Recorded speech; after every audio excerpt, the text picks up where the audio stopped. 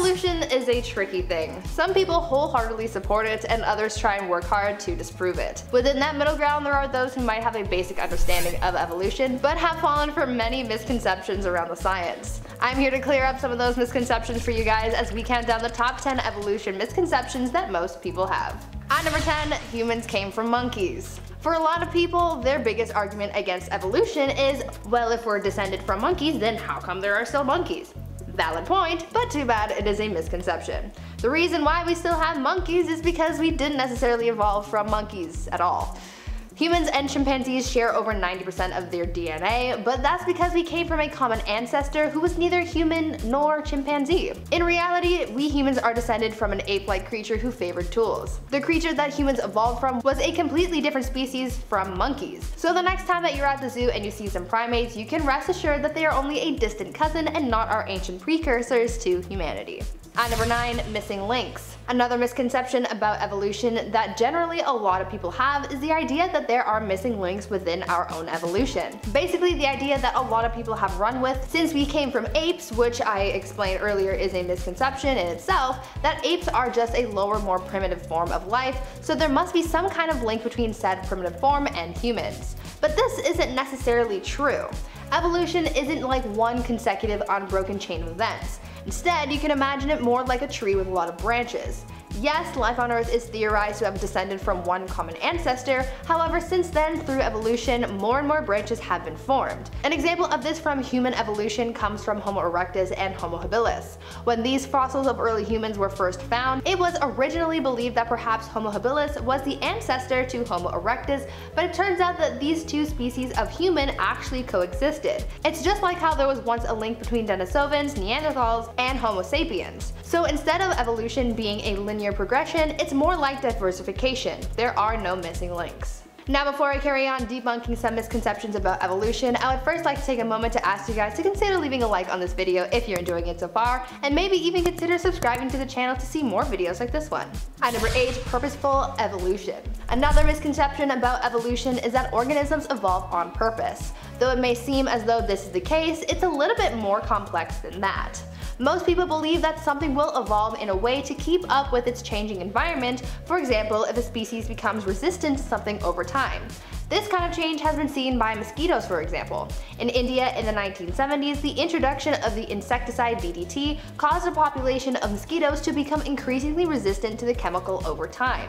Though some people believe that this was caused by the insect's purposeful change or mutation to increase their chances of survival, it is actually a case of biology that was already present in a select few in said environment. Natural selection can only randomly favor the best of what is available. Essentially, in this case, there would have been a small population population of mosquitoes in the area who were already resistant to the chemicals thanks to their own genetics. When those who were not resistant to the chemicals started to die off, that non-resistant gene was also taken out of the gene pool and those who were resistant took their place and were therefore able to repopulate and with their mutation in the new gene pool, their resistance was passed down to their young and over time the species evolved to be more resistant to the chemical in their environment. Evolution is mostly circumstantial, not purposeful. At number 7, survival of the fittest fittest. The term survival of the fittest is often associated with evolution to essentially explain the process. For a lot of people, this term can lead to a misunderstanding of the process of evolution because it makes it sound like only the strongest, most powerful species will survive. This isn't exactly true and isn't how evolution really works. It's not a matter of being the most ruthless species winning over the others, it's more about being successful at thriving and reproducing. So in this case, being the fittest doesn't necessarily mean being the strongest. In terms of evolutionary biology, it's all about being able to make more of your own species. So if you were to bring it back to the mosquito example from earlier, in their case, the quote unquote fittest were the ones who were already resistant to DDT. So next time you hear the term survival of the fittest, remember that it's not always the strongest who come out on top. Also, that term, though believed to have been coined by Charles Darwin, was actually coined by sociologist Herbert Spencer, so there's another misconception for you. At number 6, evolution is perfect. Another misconception that a lot of people have about evolution is the idea that evolution is perfect. Perfect. Many people think that when an organism evolves, it makes perfect sense and everything just falls into place, but that's not necessarily true. Sometimes through evolution, you end up with things that you don't really need, like how we have appendixes and they act more as a ticking time bomb in our bodies than an actual organ that serves a vital function. Another example of evolution being pretty imperfect comes from giraffes. Though their evolution to have long necks is quite fascinating, their actual physical makeup makes no sense. The giraffe's brain is only about 10 centimeters from their voice box, but one of the nerves that connects the two is actually 13 feet long and it really doesn't need to be. Rather than it have a direct connection when the giraffe wants to vocalize, this unnecessarily long nerve instead travels down the neck, around the aorta, and then back up the neck before reaching its final destination.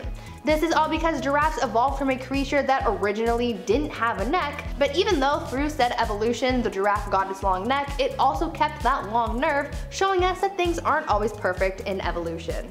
At number 5, complex organs. There's a common argument amongst creationists that claims that evolution can't explain complex organs. Take the eye for example. It is a complex organ, but many creationists argue that natural selection couldn't have created an organ that complicated since through evolution a half-developed eye would have served no purpose and would probably have been bred out over time.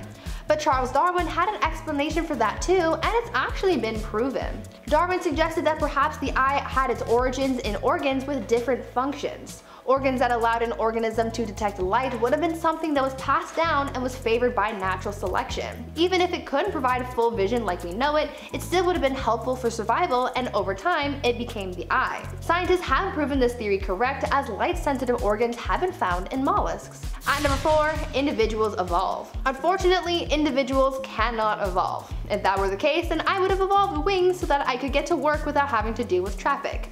No, instead evolution is a lengthy process that is more of a group effort. Evolution is the change in genetic composition of a population over time, often over many generations. For evolution to occur, genes and traits have to be passed down through offspring, and contrary to some people's beliefs, you can't do that on your own. Though individuals do go through changes over their lifetimes, that is called development, not evolution. At number 3, the origin of life. Though the theory of evolution can shed a lot of information on the past, it can't tell us everything. A common misconception about evolution is that it can tell us the origin of life. As great as that would be, that is unfortunately untrue. Through the theory of evolution, we can learn about the evolution of different organisms, how life diversifies, and the origin of certain species, but it can't shed light on the origins of the first cells, which is how life is defined to determine the origin of life itself on Earth, something that biologists still struggle with because it occurred such a long time ago, and because the intermediate stages of the organisms that would lead us to the origin of life would have immediately become food, it's pretty hard to study. The early stages of life included the creation of organic molecules such as carbohydrates, amino acids, or nucleotides, and if these were formed by inorganic precursors today, they would just be broken down by other organisms. So unfortunately, through the theory of evolution, you can't get all the answers and you can only go so far back in time. It can tell us a lot, but not everything. At number 2, controversial. Another misconception about the theory of evolution is that it's controversial among scientists. A lot of people believe that because of the argument of creationism versus science, that the theory of evolution would still be a highly debated topic, but really it's actually the most widely accepted theory in the field of science. I mean sure, back in 1859 when the theory was first proposed, there were some skeptics and others that debated this theory, but for the most part it was widely accepted throughout the scientific community, and because it actually helped to explain and prove many other scientific hypotheses, the theory of evolution became pretty popular. It even helped to reject the predominant theory of the origins of species at the time, which dictated that species had been specially created within relatively recent history.